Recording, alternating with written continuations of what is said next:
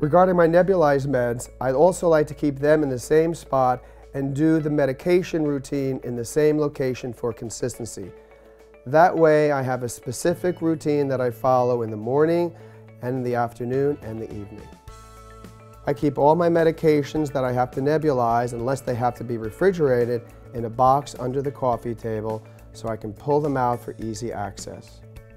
My nebulizers that I use for aerosolized treatments, I also keep in a little plastic bowl. After I sterilize them, I put them in there. And then I just puff away.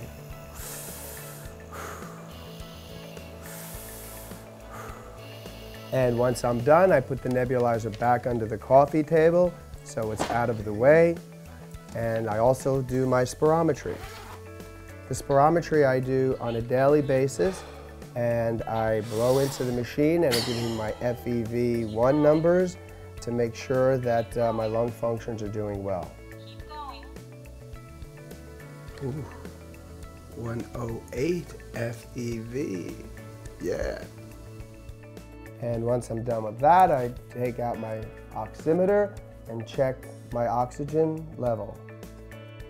You can never foam up enough. Living with cystic fibrosis, it's always important to keep your hands clean.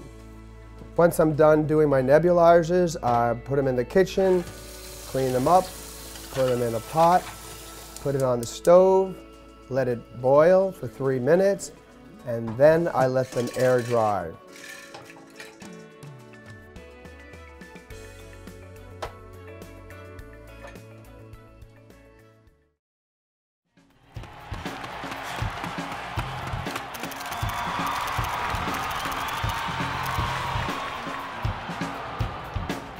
Nothing within the CF Wind Sprints video series should be considered medical advice.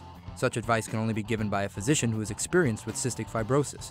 The Boomer Esiason Foundation, Jerry Cahill, and contributors to the CF Wind Sprints video series cannot be held responsible for any damage which may result from using the information on this video without permission of your medical doctor.